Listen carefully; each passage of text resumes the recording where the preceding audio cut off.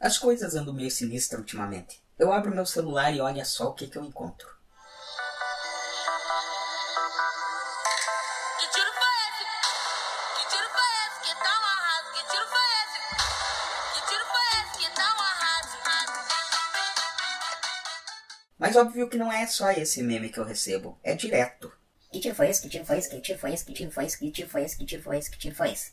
Só dá que tiro foi esse. Mas que porra é isso? Eu sei que foi alguém que inventou uma música. Eu vi alguma coisa também na TV. É uma mulher reforçada lá que canta essa música. Mas de tanto encher o saco, de tanto ver isso, eu resolvi dar uma pesquisada. E encontrei a letra da música que agora a gente vai poder fazer uma pequena reflexão sobre a mensagem que ela transmite ao seu público. Vamos lá. Que tiro foi esse? Que tiro foi esse que tá um arraso? Que tiro foi esse? Que tiro foi esse que tá um arraso? Que tiro foi esse, viado? Que tiro foi esse que tá um arraso? Que tiro foi esse, viado? Que tiro foi esse que tá um arraso? Samba na cara da inimiga. Vai, samba, desfila com as amigas. Vai, samba, na cara da inimiga. Vai, samba, desfila com as amigas. Quer causar? A gente causa. Quer sambar? A gente pisa. Quer causar? A gente causa. Quem olha o nosso bonde, pira. E assim vai a nossa bela poesia, ela repete várias vezes aqui, e assim vai acontecendo o que tiro foi esse. Até aí tudo bem. Daí descobri também que quem canta é Jojo Todinho, uma funkeira. A gente não poderia esperar muito, é um funk, né? Não poderíamos esperar que transmitisse uma bela reflexão.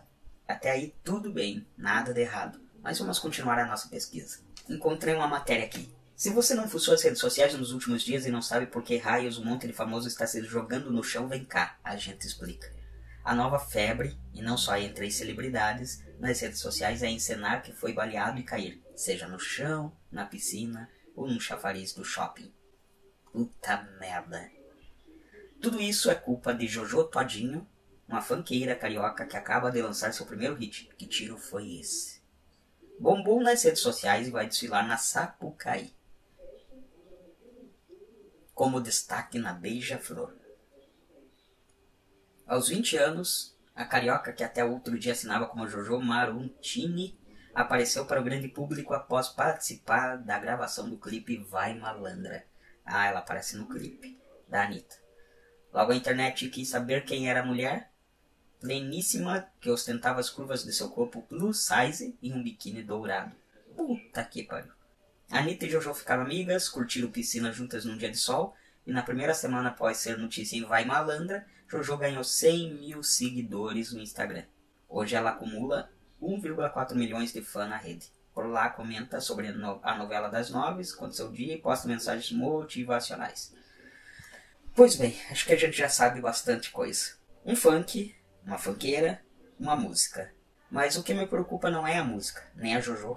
A Jojo, sucesso pra ela. Parabéns pela invenção dela. Parabéns pelo sucesso que está fazendo.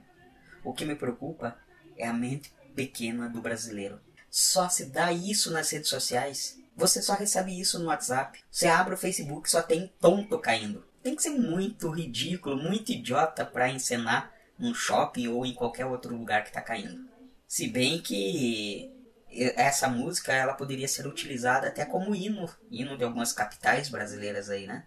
Aliás, eu li outra matéria que fala que que houve algumas críticas em relação a essa música pelo título, que tiro foi esse. Daí me parece que no próprio Instagram da, da, da Jojo, ela defende dizendo que isso é uma gíria para dizer que alguém está lacrando, que é outra gíria, ou melhor dizendo, está bombando, está charmoso, está chamando atenção. E isso é utilizado aonde?